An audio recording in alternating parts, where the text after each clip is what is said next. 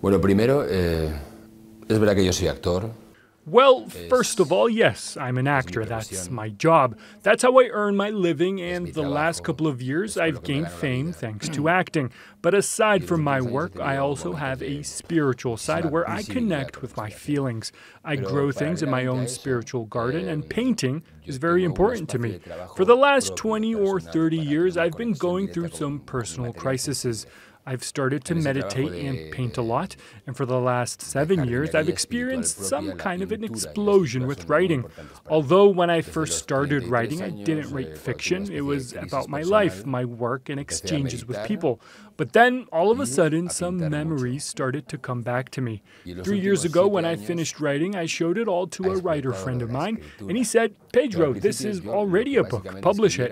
But I didn't have the courage to do it then. However, in this book, I found my narrative voice. And when that happened, I met my now girlfriend, Tatiana Djordjevic. Our meeting was like an explosion. She's a hypnotherapist, and she said that we should do a regression session together. And the book of Filipo tells the story of what I saw during my regression sessions. I was Filipo, a soldier from the Roman Empire era. Just like a spy, I traveled east to fight the enemies who were plotting the fall of the empire. And my life changed when I met Yilak, the leader of the rebel group. Que no, no, no tuve el valor para hacerlo.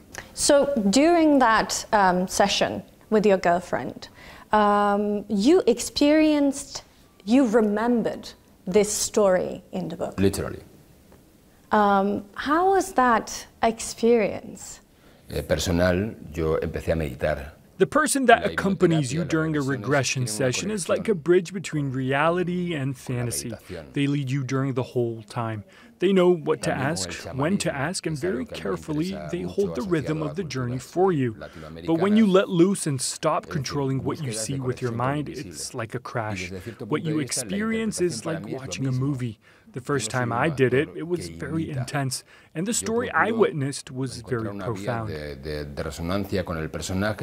Pedro, I have a question. Mm -hmm. um, earlier, you said that at the beginning, um, you started writing this uh, in non-fiction format. Yep. That it was just you and your experience. Um, how did you, or when did you decide to turn this into a fiction, into a novel, and why? En why España, not? Why not tell this in like a memoir? En España ha sido publicado como in Spain, this is published as non-fiction, actually. When I met Tatiana, we started the regressions together, and I wrote down everything I saw during those sessions. I wrote Filipo's story like a transcription. Uh, then, technically, uh, to you, um, this is uh, a non-fiction, a memoir. This is your story. Eh, tienes la tentación de adornarlo, de amplificarlo, de hacerlo. Yes, absolutely. When you're writing, you need to make sure you're not editing or embellishing the story too much. People tend to amplify what they're writing. I was very careful not to inflate the story like that or edit it too much. During the regressions, I saw and lived everything from the eyes of Filipo. I was him. And this book is the transcription of what I saw. In total, I've had four regressions before I finished the book. And did they all happen during the same time? Yeah, yeah. Yes, after the first time, Tatiana told me that we could go back if I wanted to. And did you go back to finish the story? No, no, digamos para, para completar.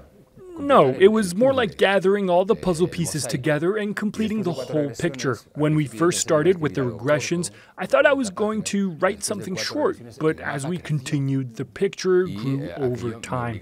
So then I sort of had to write it as you would in a novel. Although it started in nonfiction, at the end, the structure had to turn into a novel format because of the length. Shall we uh, talk about the, um, the cover art and also the, the, the paintings in the, picture, uh, in the book. Um, you and your girlfriend, uh, Tatiana uh, Djordjevic, um, you both uh, paint, but you paint together under the name of Magu, which means uh, magic in Persian. Yeah. Um, and I've read that um, you have this um, four-handed freestyle technique that you learned in France. Is that correct? Please um, tell us about your artistic uh, journey with your girlfriend and these paintings. When Tatiana and I met, we realized we had so much in common. We both love to write and paint. She likes expressionism, and I'm more of a neo-figurative art fan myself. One day we went to an exhibition in France, and after that we sat down and played a game together. She started to paint something and then stopped for a while. Then I continued painting from where she left off. We did this back and forth a couple of times, interfering with the other's painting and changing changing it the way we liked more. It's like a game without any rules. You can do whatever you like. And the first time we finished this exercise, we really liked the end result.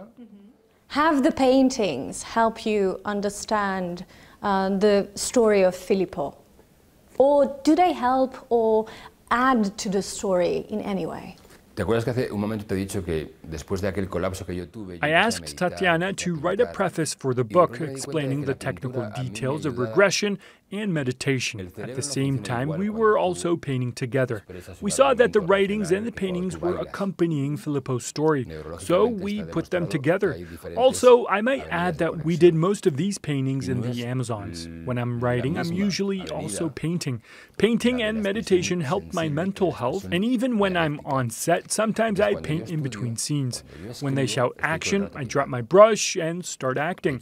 These different practices bring out different understandings in me. De alguna forma cocino y luego escribo. In your paintings and the book you write, um, the stories uh, you tell as a writer, um, the themes you go for are very um, mystical and spiritual, uh, but you're also an actor. Mm -hmm.